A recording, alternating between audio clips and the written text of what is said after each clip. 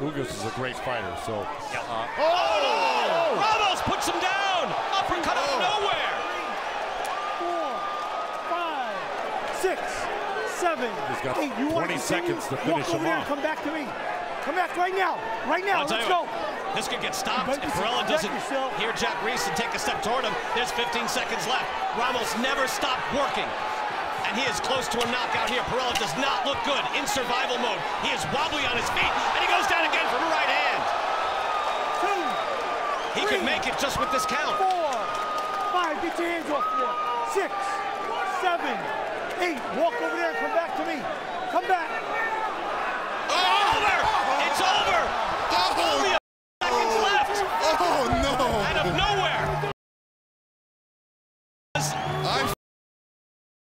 Look, it's not Chavez Meldrick Taylor, but if Jack Reiss had just let that go, three seconds left. By the time they even walked toward him, he couldn't have eaten another shot.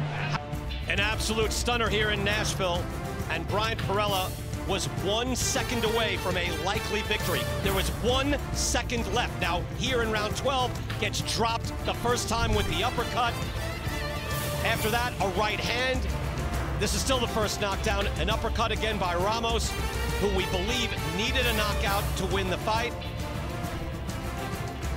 And now here the second knockdown. Again, this is the final seconds. And what I had mentioned at the time was just by counting to say seven or eight, there could be almost no time left. And Bryant Perrella's corner believed there were three seconds left. We've asked the timekeeper. She has told us one second left. Jack Reiss ends it in his defense. There was that first knockdown where Jack Reiss said, take a step toward me, and I tell you what, fellas, Bryant Perrella barely did that. Reiss thought, let me give him the benefit of the doubt. Second time around, he did not, and he stopped the fight when Perrella did not react properly when he told him to take a step toward me. that's There it right. is. That's right. He walked away. Jack Reiss gave him an instruction to watch, walk laterally. He did, and then he said, "Now come to me," and he didn't respond. Wow, watch it again.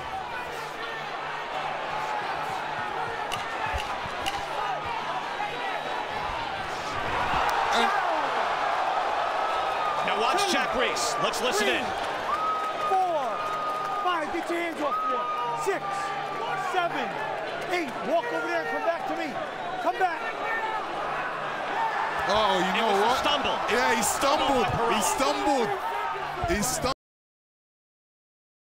In one sense, for yeah. I don't. I'm torn on that.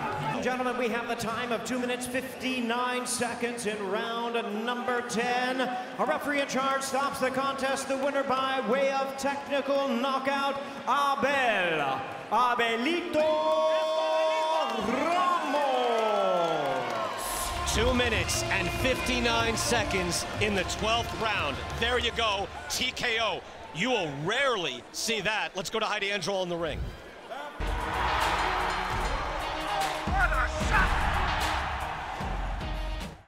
Thank you for watching. Well, if you enjoyed that clip, make sure you click uh, somewhere around here and subscribe from Fight Highlights to exclusive interviews. We have got everything you need as a boxing fan right here on PBC on Fox.